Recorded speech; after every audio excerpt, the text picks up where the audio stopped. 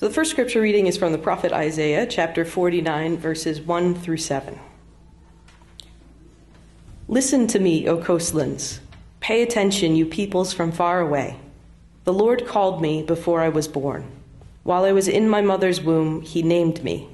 He made my mouth like a sharp sword. In the shadow of his hand, he hid me. He made me a polished arrow. In his quiver, he hid me away.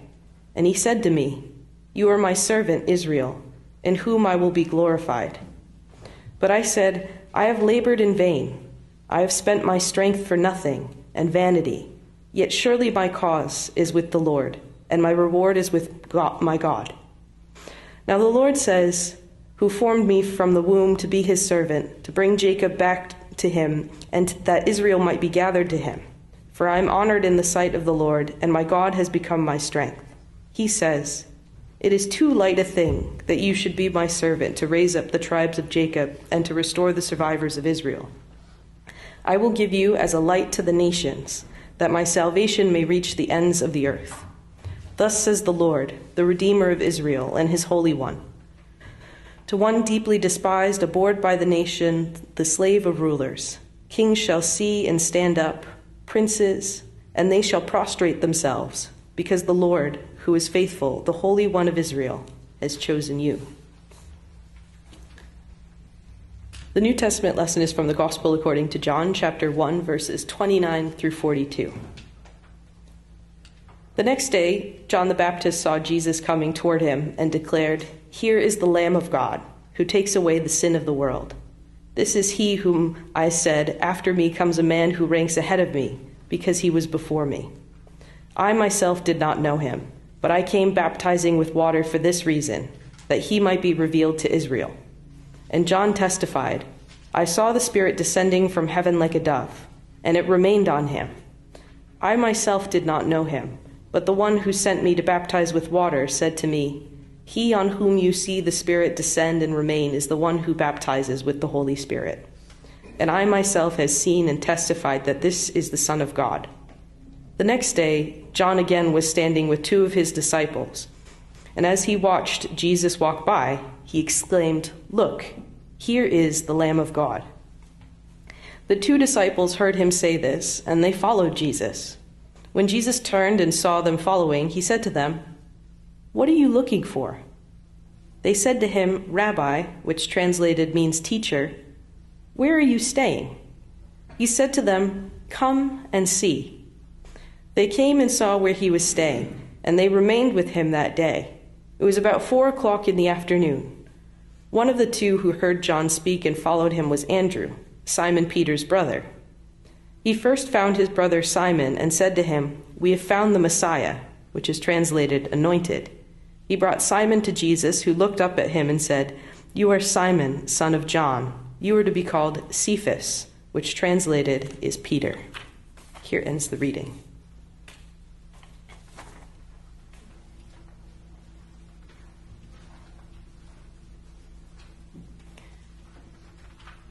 So this this season in the church calendar between Christmas and Lent is often as a whole considered the season of Epiphany tide.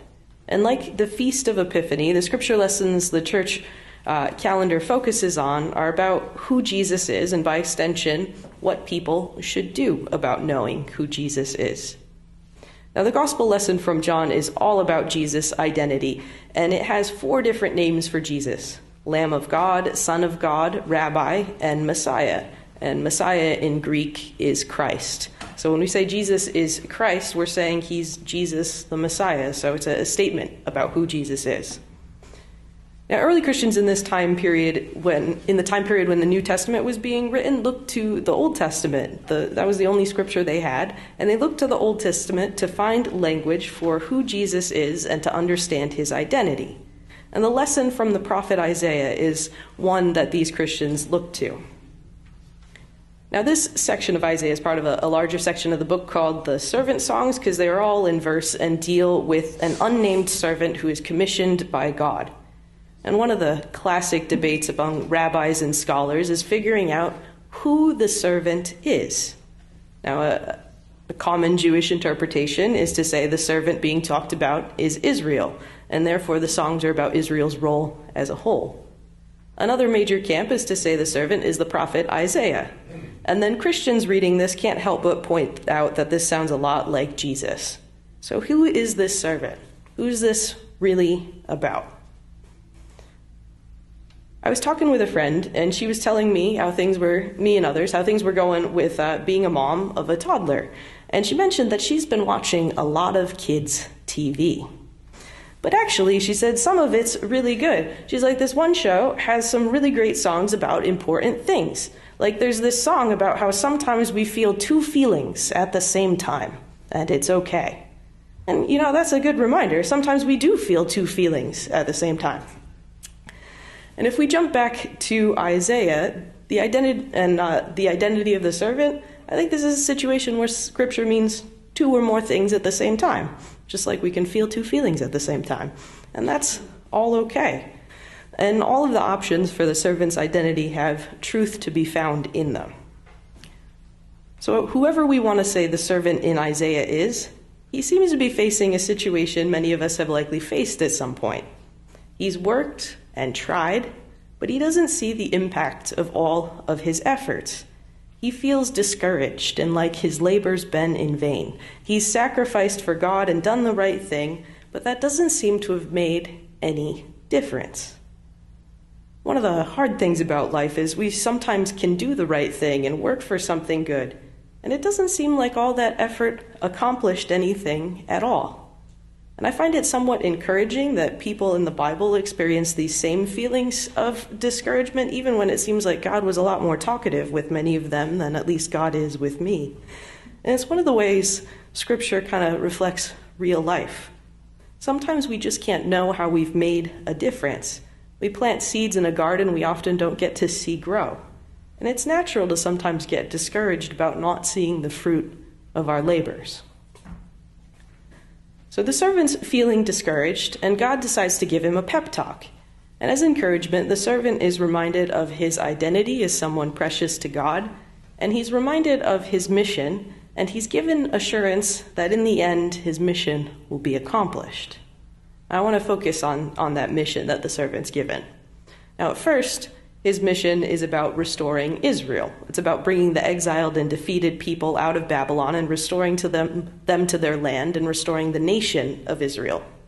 Now, that's a hard task on its own, but then God adds, It's too light a thing that you should be my servant to raise up the tribes of Jacob and restore the survivors of Israel. I will give you as a light to the nations, that my salvation may reach the ends of the earth. Essentially, God is saying restoring Israel from exile is too small a task. It's really just phase one of the plan.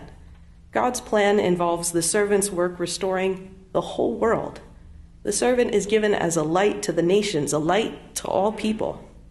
And as you might guess, this is one of the verses that really resonated with Christians as something describing Jesus.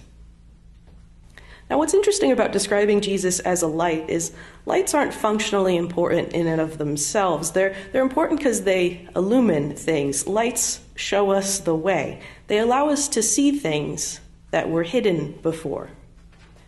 Now, in the original context of Isaiah, it seems that the idea was that a restored Israel would illumine the way for the other nations of the world. And Israel would be a light not through glory and success, but because it had shown the fullness, the faith, because it had shown faithfulness to God throughout periodic hardship. Israel would shine because it would show the glory and knowledge of God to all people despite all the trials they'd been through. People would see the way brightened by Israel's example and come to true knowledge of God. Jesus in the Sermon on the Mount sees the role as the church, of the church being similar to that. He says, You are the light of the world. A city built on a hill cannot be hidden. Essentially, the church is meant to shine as an example, to light the way people should go. In John Winthrop's famous sermon, A Model of Christian Charity, from the beginning of the Massachusetts Bay Colony, he preaches that the mission of the colony and the people as Christians was to be an example to the rest of the nations of the world about how the church should be. He says, Men shall say of succeeding plantations, The Lord make it like that of New England. For we must consider that we shall be as a city upon a hill. The eyes of all people shall be upon us. Being God's people involves living faithfully in such a way that it shines as an example to others. Let's jump back to the lesson from John. This shows Jesus calling the first disciples, and unlike the other three Gospels, there's no scene with the disciples fishing. Instead, we've got disciples who come to Jesus after having been John the Baptist's first disciples. And John the Baptist's role is to point the way to Christ. And he quite literally points out Jesus to people by saying, Look, there he goes. There's the Lamb of God. So, two of John's disciples start following Jesus. Like, they literally just start following him as he's walking by. And then, eventually, Jesus turns around and asks them, What are you looking for? Now, this is the first thing Jesus says in John. Up until this point, Jesus has only been talked about, but here he speaks. And unlike the rest of the gospel according to John, Jesus here says something very simple What are you looking for? And it's a, it's a question meant for us today as well. we were each to answer that question, What are you looking for? I think we'd all come up with some different answers. And sometimes what we're looking for from Jesus changes over time. It's really noteworthy that Jesus starts off his ministry not with telling people what to do or what to think. He starts off with a question. Jesus wants to be in conversation, in relationship with people. Now, it seems the disciples don't really have exactly what they want from Jesus figured out, but they do feel that there's something about Jesus that makes them want to spend more time with him. So they ask, Teacher, where are you staying? And Jesus responds with, Come and see. It's an invitation to be with Jesus, to go where the light is illuminating a new way. Now, this new way Jesus is showing is directly related to how salvation and sin are understood in John. Now, like the, the Spark Notes version of what Jesus did by dying on the cross is that he, he died to save us from our sins. Now, when I hear the word sin, the first thing I think of is stuff I've done wrong. It's the times I haven't followed God's law or done what I'm supposed to do. And the Gospels, according to Matthew, Mark, and Luke, have lots of material on this sort of understanding of sin. But John comes at sin from a different angle. Sin in John isn't a moral category of bad things. Sin is not being in relationship with God, it's being separated from God. Now, bad stuff we do harms our relationship with God and our relationship with others. So, this definition of sin doesn't mean we get a free pass on following the commandments. But thinking of sin as separation from God is a really helpful way to look at how Jesus saves us. If the biggest problem is people are separated from God, if the biggest problem is people are not in relationship with God, then it seems like the best thing to do would be for God to show up and be with people. And that's precisely what Jesus does. He's born a human being and lives among us. He builds relationships with people. Jesus takes away the sin of the world because he shows up and enters into a closer relationship with humanity than God has ever done before.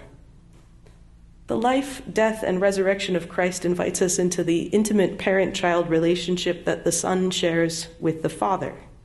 We're saved through the ongoing relationship with God that Christ makes possible. And the cross shows us that the relationship is stronger than even death. We're delivered from sin because God is always with us and in relationship with us, and God even now dwells in every single one of us through the Holy Spirit. And this is a, a really helpful reminder because sometimes I can get bogged down in thinking about the life of faith as a bunch of stuff I'm supposed to be doing. You're supposed to fight for the oppressed, feed the hungry, promote justice, love your neighbor, volunteer at church, pay your pledge, and so on. And for me, at least, it can sometimes feel what Christianity is asking of me is just to do a really bunch of hard stuff, and it can get exhausting because there's so much to do, and it's difficult. But John's gospel helps with that because it's a reminder that it's our relationship with God that sustains us and empowers us to live lives of faith. It's through God being with us that we can see where we should go. Jesus and being in relationship with Him does involve doing hard things. Other people as loves us is extremely difficult. The story throughout all of Scripture is how people are able to do hard things through faith in God and through the help of other people. We build our faith both by standing up for what's right, doing good works, and through prayer and making time to read Scripture and connect with God. When we do that, the light of the Christ, the light of the nation, shines forth throughout the world through all of us. And the good news about light is it just takes a little bit of light to drive out the darkness and make the world just a little bit brighter. Amen.